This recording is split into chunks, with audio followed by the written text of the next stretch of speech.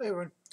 A uh, few days ago, I made a video in prediction of the new Loot Crate Invasion box that I decided not to subscribe to uh, this week. And I made some predictions on what was going to be in it anyways. And it came out today. There were a few uh, people that did their videos and let's see how I did on the predictions. Um, now they told us straight off that was going to be an X Files T-shirt, so I was right about that one. Yeah. Now, um, one of the ones that they said was going to be a prop replica, and I said it was going to be the Fifth Element multipass, and it was. That was, I was almost a given. I was just like, I, you know, feel it in my gut, like that's going to be the prop replica.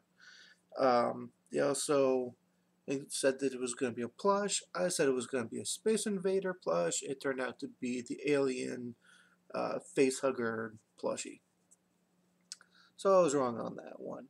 And then they said there was going to be some other things in there that it didn't uh, give hints to. That the uh, X-Files flashlight, uh, Space Invaders figure, it was kind of cool. It looked kind of like a vinyl thing, but Space Invader shaped.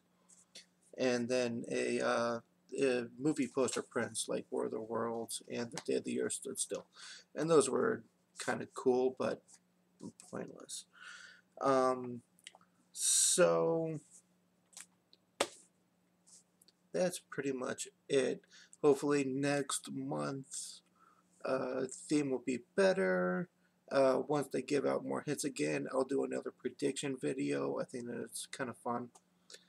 Um, and at the end of this month, I have a Loot Crate giveaway for anybody who watches my other videos called Loot Crate Giveaway.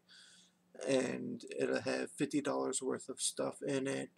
Uh, so subscribe to my channel, like the video, and comment on what uh, you want to see in your own loot crate.